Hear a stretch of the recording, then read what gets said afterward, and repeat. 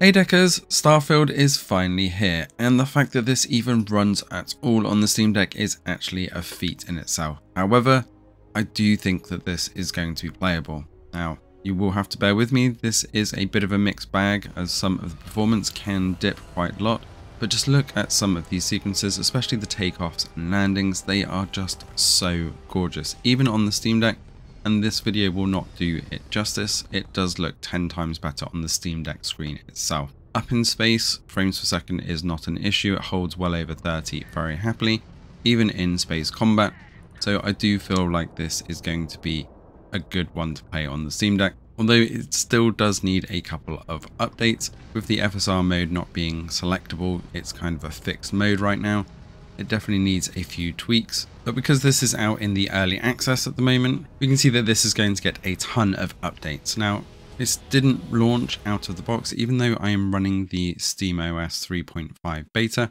it did still need to run with Proton Experimental. So if you are not running under the beta, they have now dropped a update to the driver, which should fix this crashing issue although I'm still hearing a lot of reports that it's still crashing. So make sure you run Proton Experimental on this one, and if the stable channel doesn't work, then you will need to switch over to the OS beta.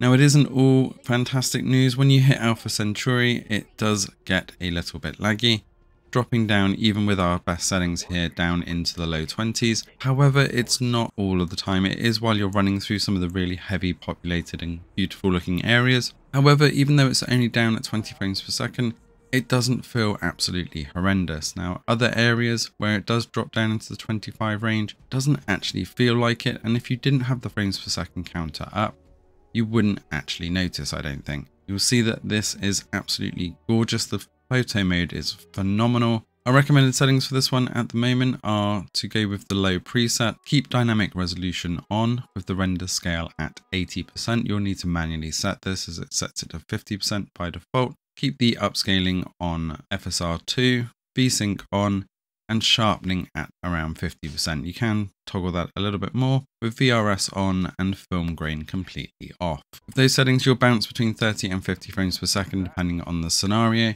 And when you interface with the NPCs, you get a crystal clear image and it looks absolutely phenomenal.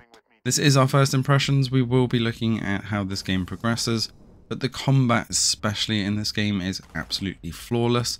And because you're inside a lot of the time, you don't get any of that resolution scaling, and it looks absolutely crystal clear. As we progress through the game and we get some of the updates, we will revisit the settings on this one and keep you guys up to date. This being very early first impressions, we can't wait to see how well this game progresses, but I would say that it's going to be playable on the Steam Deck at this time. Let us know in the comments below if you're going to be diving in early or whether you're going to be waiting for the full release, as well as potentially streaming it via Xbox Cloud Gaming as it's not currently available on GeForce Now.